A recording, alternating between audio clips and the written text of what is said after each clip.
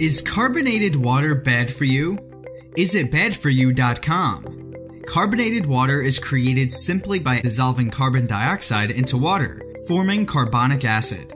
It does not add any sugars, calories, or caffeine, making carbonated water just as healthy and hydrating as water.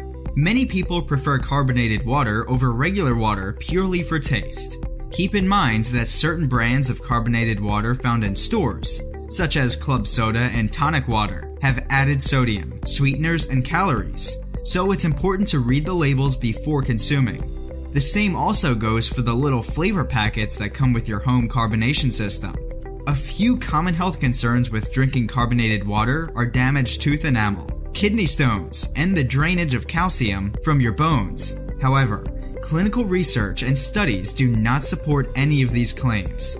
If you prefer carbonated water over regular water, you have nothing to worry about.